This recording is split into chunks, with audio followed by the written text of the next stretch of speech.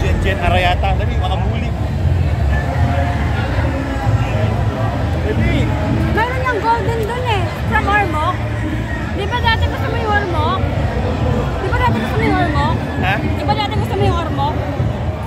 Or Ormoc Gold? Oo. Oh, oh. oh. Jen Jen Arayata.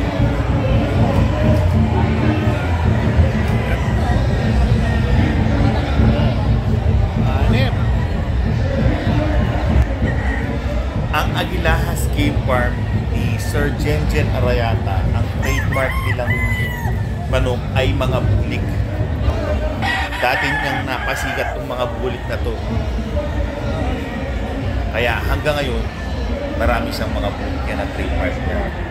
Tapos, lahat halos ng mga breeder dito sa Pilipinas, may mga bulik na rin. Kaya, naisipan ko bumili ng bulik. Pero siyempre, sisi para medyo mura.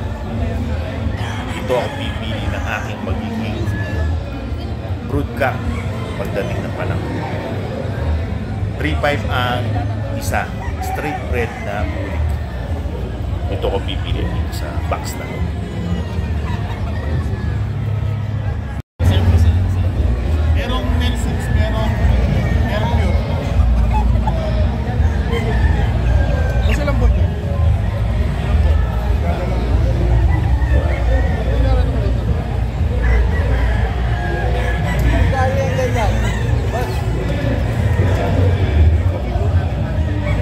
magkano yung ganyan? 3.5 pa man.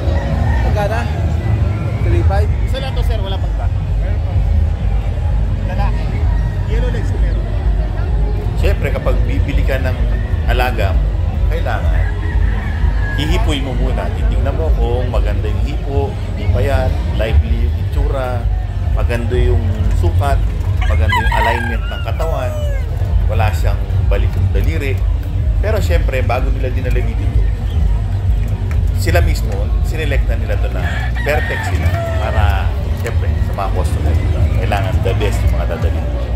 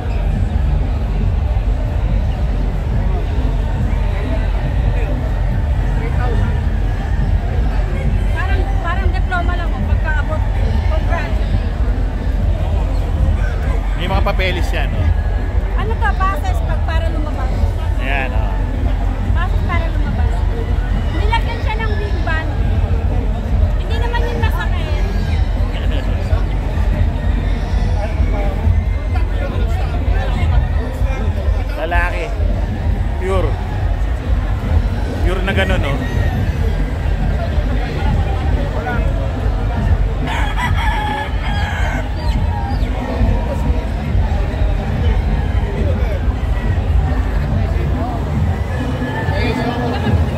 Ha? Okay lang. Last time kay Sir Pinilan, di ba napupunta? Ano naman masasabi mo? Ganito pala mag-shopping ng panahon. Kailangan ng bases. Ako na isa. Ano? Uy, meron dito.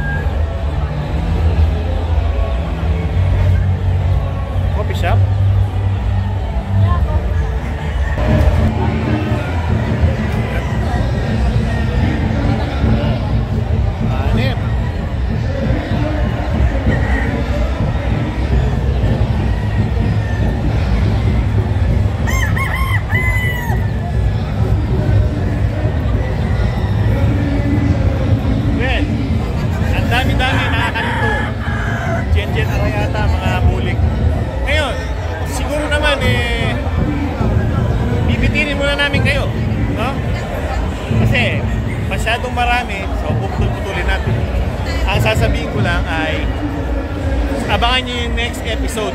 Ha? Bye-bye.